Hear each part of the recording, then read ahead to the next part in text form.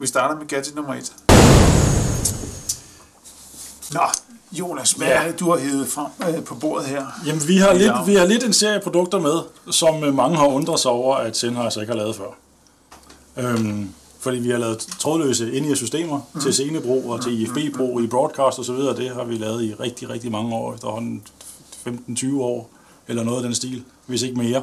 Øhm, og vi har lavet hovedtelefoner i rigtig, rigtig mange år, primært til consumermarkedet, og selvfølgelig også nogle professionelle modeller. Ja, det må man nok sige. Øhm, men vi har aldrig haft noget rigtig godt øh, sortiment af in hovedtelefoner til in monitoring trådløs brug på scener og til broadcast og lignende. Øhm, og der har været et, et, marked på det, som er vokset, og der har været et kæmpe marked for især sådan nogle formstøbte, Ja, ja, hvor folk ja, har ja. støbt deres øregang, og så får de tilpasset et, et produkt dertil, og der er et, et kæmpe hvad skal man sige, marked for, for den slags. Ja. Øhm, nu har vi endelig noget, der hedder, lavet en serie. Vi har tre forskellige modeller. De er alle sammen det, man kalder universal fit, det vil sige, der er ikke nogen formstøbt øh, kasse, hvor man bygger alle dry højtalerenhederne og så videre ind i. Mm. Øhm, I stedet for er vi gået lidt anderledes til værk. Et, vi har vores egen teknologi af selve hovedtelefon-driveren. Vi kan, vi, kan, vi kan bygge den omkring. Og så er vi 3D-scannet tusindvis af ører simpelthen. Okay. Så vi har haft så mange folk forbi, som vi har kigget ind i ørerne og lavet en lille, et lille elektronisk aftryk af dem. Ja. Og det er vi simpelthen brugt til at modellere dem for at optimere fit.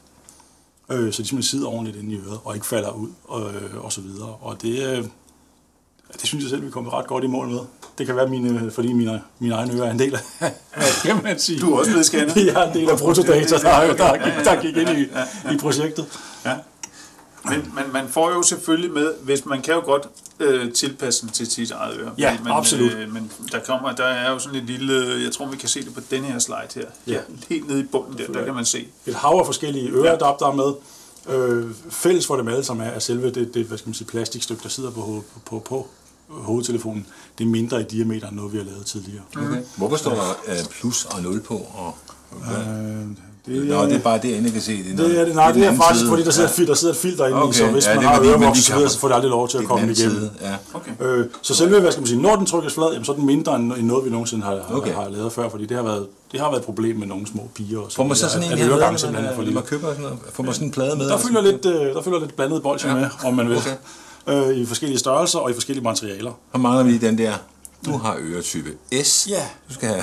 Lige præcis. øh, og der har vi blandt andet lavet nogle nu i, øh, i memory skum, som man Okay. altså trykker flade, og så sætter man den ind i øret, og så vokser den stille og roligt i løbet af 30 sekunder.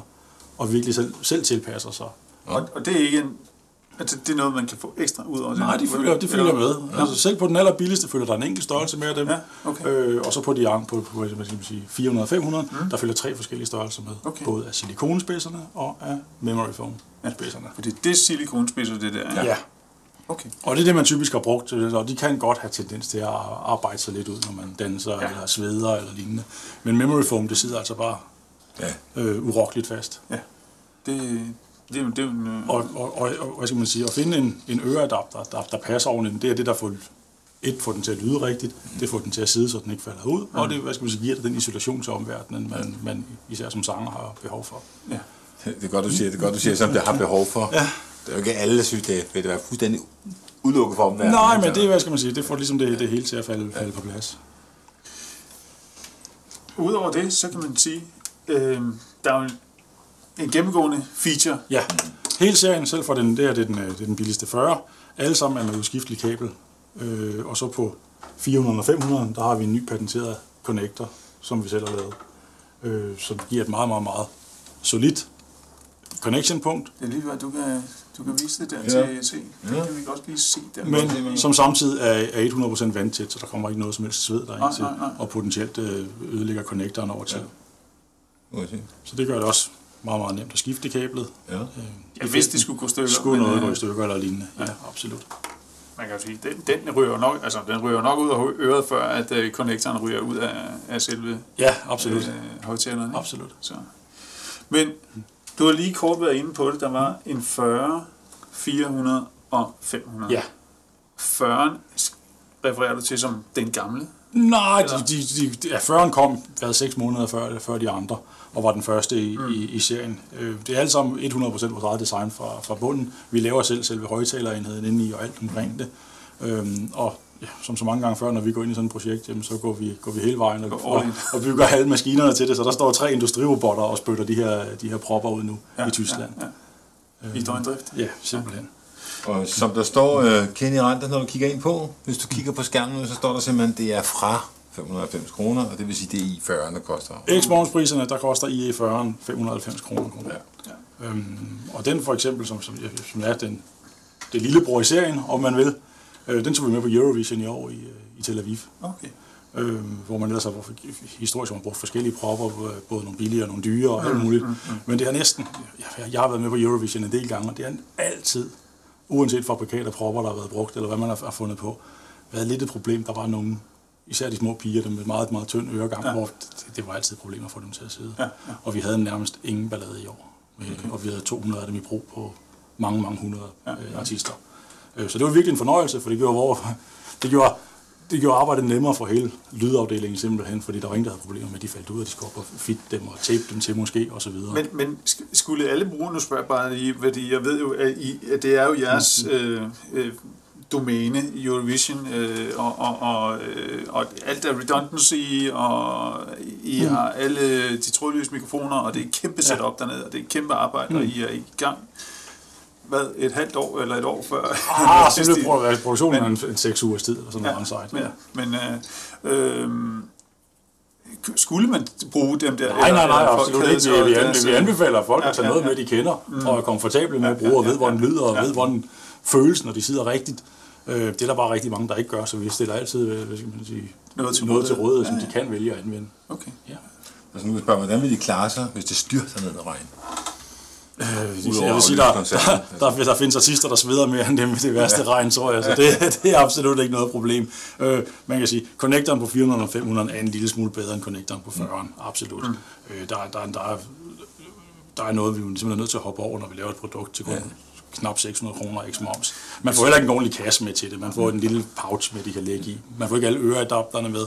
Så vi har været nødt til at fjerne nogle punkter, men, men stadigvæk form og funktionalitet osv. Men vi skulle måske også lige skylde folk at sige, at øh, når vi snakker 400 og 500 serien, så ligger vi jo om, hvad er vi omkring? Nu siger jeg bare noget hos må du ikke korrekte, men er det ikke god til 24, 2400 eller Øh, deromkring?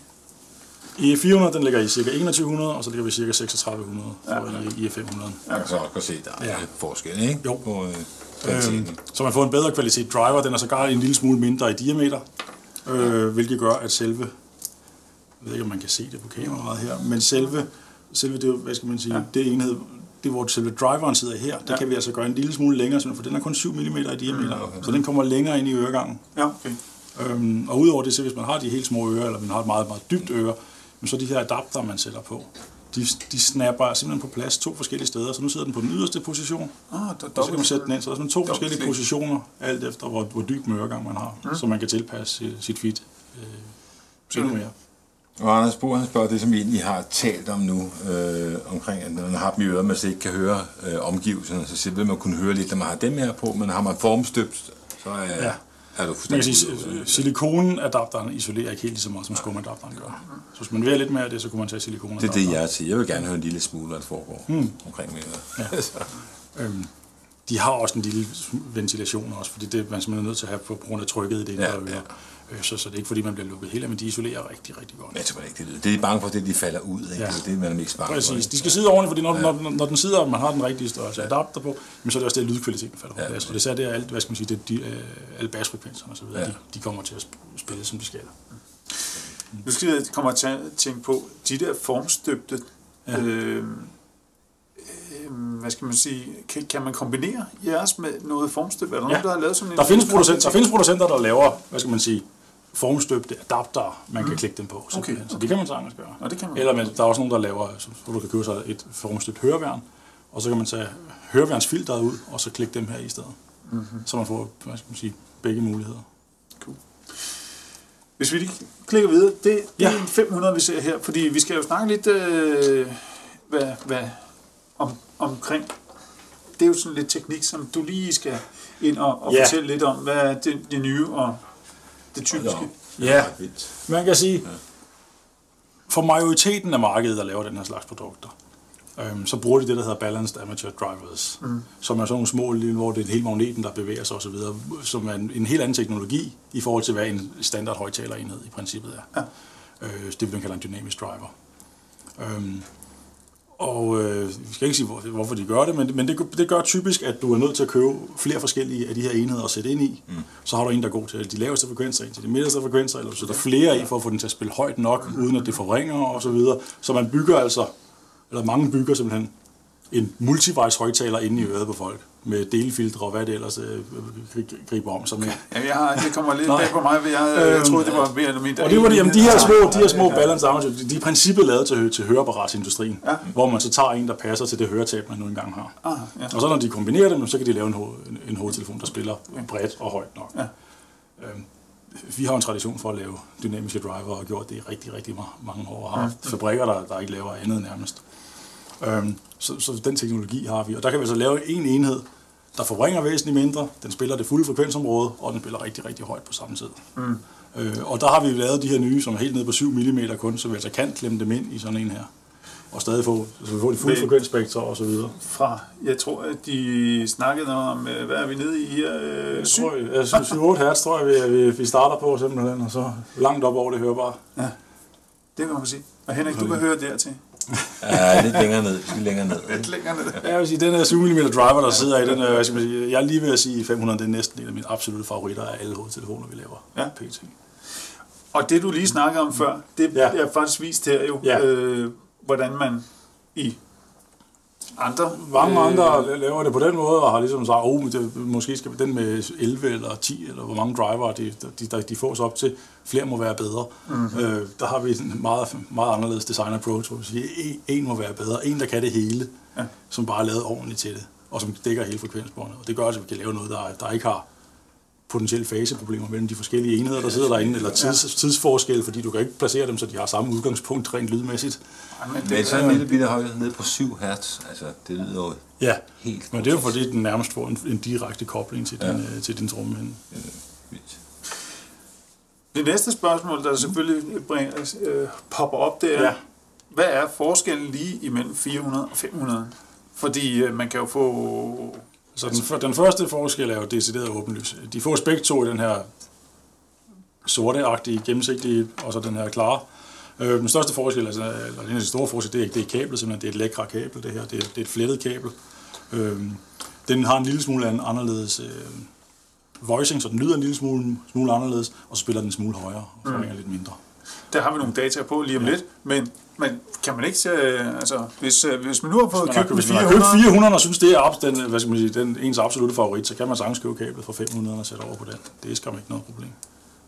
De passer fint sammen. Så det er også muligt. Men 40'eren har som sagt sit eget kabel, så der ja. kan man ikke gøre det. Nej, nej. Okay. Og de her tekniske specifikationer, jamen det er jo så 400, ja. vi ser her, som spiller et 123 dB. Så er der altså også... Øh, Det er jo ikke engang, det er jo ikke engang max lydtryk, det er faktisk bare følsomheden for den, der er for en, for en enkelt volt. Så der, er- der, er- ah, okay, ja, der er masser af mad i dem, hvis man ønsker. det må man sige. Det må man sige. Jeg har siddet og kigget lidt på omkring, øh, hvad hedder det, lidt video omkring, det skal vi ikke se noget af i dag, men øh, der, I har lavet en video, hvor, hvor, hvor de står og siger, ah, man kan høre detaljerne, og så videre, og så videre. Og så starter det her orkester, og det er bare sådan totalt heavy. Øh?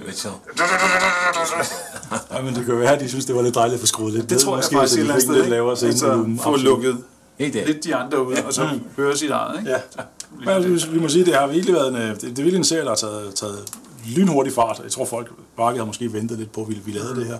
Og vi har en, faktisk en del af de øh, helt store artister, der kommer tilbage og siger, de foretrækker nu en af dem her med den øredafter, der nogle gange passer perfekt til dem i forhold til formstøbte. Ja. Så vi ser lidt en trend i, at markedet går væk fra de formstøbte, fordi ørerne ændrer sig også over tid. Så ofte så et par år senere skal du have støbt nye uanset.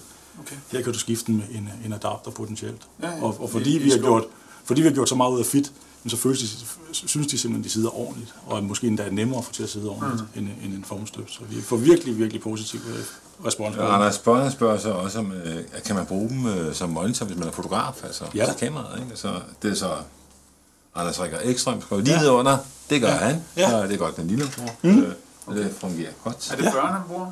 Eller? 40, ja. Ja. Ja, okay. Det er altså også den pris på den, må jeg sige. Det er, jeg er helt overvældet af det produkt. At den, går, at den koster under 1000 kroner. ja. øh, så godt den lyder, så godt den sidder. Det, er- Her kan man lidt se, hvordan den sidder inde i. Ikke? Mm. Øh, og jeg kunne lige have lyst til at hoppe tilbage til denne her, fordi at når man ser på de her to her, nu, I kan nok ikke se det, men altså, der står 123 dB på, på, øh, på 400 og 126 på 5, 500. Ja. Og så, så man siger, 3 dB. Men hvordan er det nu lige med dB-skalaen? Kan du ikke lige forklare Jo, men lidt det er jo nærmest dobbelt, men det, det har også lidt at gøre med, det, det, er, jo, ofte, det er jo altid følsomheden ved 1 kHz, og 500 er, er voicet en lille smule mere lineær. Det er, så det vil være den helt rigtige monitor på mm. telefonen. Så den har en lille smule kraftigere præsens i, i mellemtoneområdet øh, til sanger og så videre, Ja, så de ja, virkelig øh, hører sig selv mere. Så det står helt... Ja. Hvor man kan sige, Præsent. 400 måske har, ikke fordi det er en stor hængekøje af en frekvensrespons, ja. men øh, den har en lille smule til- tilbageholdende i, i mellemtoneområdet. Okay. Og det er cirka de her 3 dB, den ligger lavere. Der. Så det er, at det, man har tænkt på, på sanger, ja, Ja. og man lige på... Hvem- simpelthen. Ja. Ja. Okay. Og ja, der ser vi den jo bare i et almindeligt setup. Ja, det er klar til. Lige præcis. hvor den hører hjemme. Klar Sit naturlige habitat, er det sådan, det hedder? Den hører hjemme der. Det må jeg sige. Er der noget, vi ikke har snakket om? Øh, 400-500 får man en lille taske med, man kan have dem i, lidt renseværktøj og masser af de her øreadapter, som selvfølgelig kan købes som, øh, som reservedel også. Ja. Men den her kommer som standard med det her. Ja, Øh, og det fås kun i hvidt. Det fås kun i, øh, i, i, øh, i klart. kun. Klart er det vel i virkeligheden. Ja. Øh, fordelen ved det og ved det flædede kabel er, at øh, den lyd, kablet samler op rent mekanisk, mm. bliver dæmpet enormt effektivt.